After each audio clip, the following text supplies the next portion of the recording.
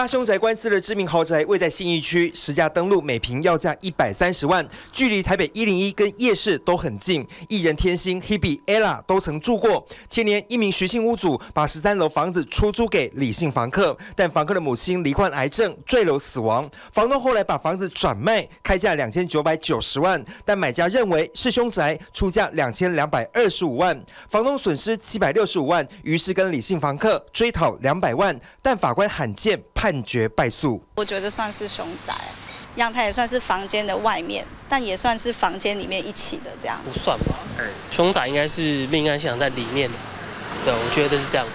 开庭时，许姓房东主张，当初是依实价登录计算，认赔七百六十五万，只有求偿两百万。但房客主张，母亲是死在中庭，非住宅内。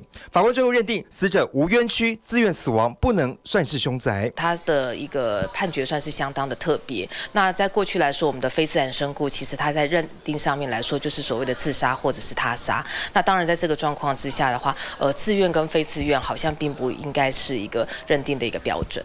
房东业者表示，依据内政部公函，非自然死亡、自杀、他杀都是凶宅，有必要告知买家。要是房东担心变凶宅，租屋前可以另签房轻生条款保障。万一发生这样子的一个不幸的事情的话，你到了法院去之后，可能法官他还是会呃针对所谓被告，他会去做一个酌情的一个费用的一个增减。法界人士指出，凶宅的定义法律上没有清楚认定，法官因此有解释的空间，也因此出现这样少有的案例。TVBS 新闻黄建国、杨志忠台北报道。